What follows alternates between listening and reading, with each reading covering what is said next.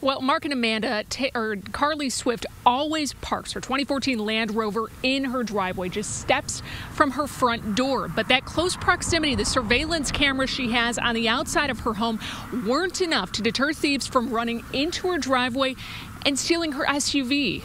It's such a serious, severe violation when somebody comes and does something to your home and you feel um, afraid that who knows if you can protect it. The surveillance video from Carly Swift's driveway is clear. A male gets into her 2014 Land Rover, starts it, and backs out of the driveway.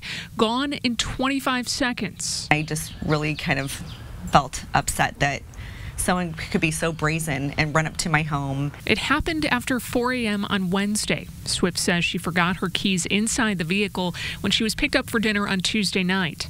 If you take a close look at the video, you can see they're in the thief's hands as he runs up to the Land Rover. They were my keys, and so he they would have been here earlier in the night, which is probably the most unsettling part that they had been here a couple of different times. Swift isn't alone. A Toyota Prius was reported stolen four blocks away.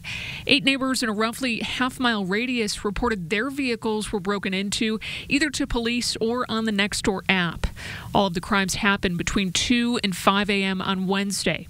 The thefts are prompting Matt Williford to take action. The police cannot always be there, and so we want to be eyes and ears for the police to help them out. He is launching a neighborhood watch. The first patrols went out early this morning. We try to preserve the community that we, we live in, and this is part of it, keeping it safe.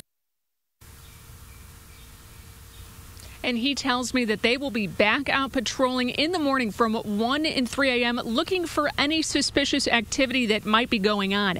Meantime, Swift hopes that her SUV will be recovered and back in this driveway soon. Reporting live in Broad Ripple, Katie Hines, RTV6.